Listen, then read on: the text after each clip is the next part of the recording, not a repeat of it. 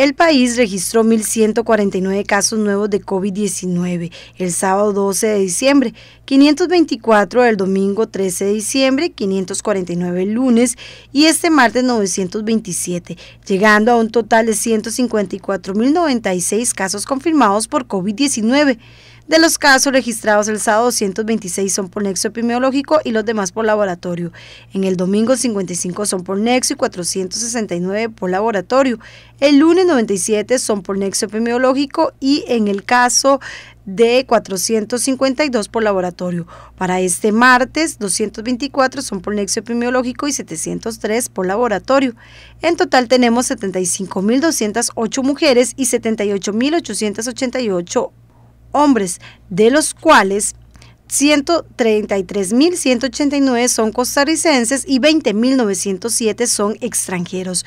Por edad tenemos 130.298 adultos, 11.025 adultos mayores y 12.671 menores de edad.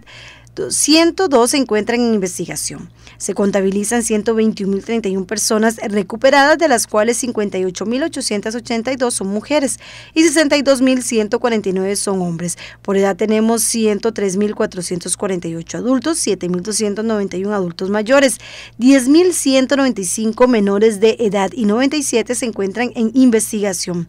610 personas se encuentran hospitalizadas, 243 de ellas en cuidados intensivos con un rango de edad de 0 a los 92 años.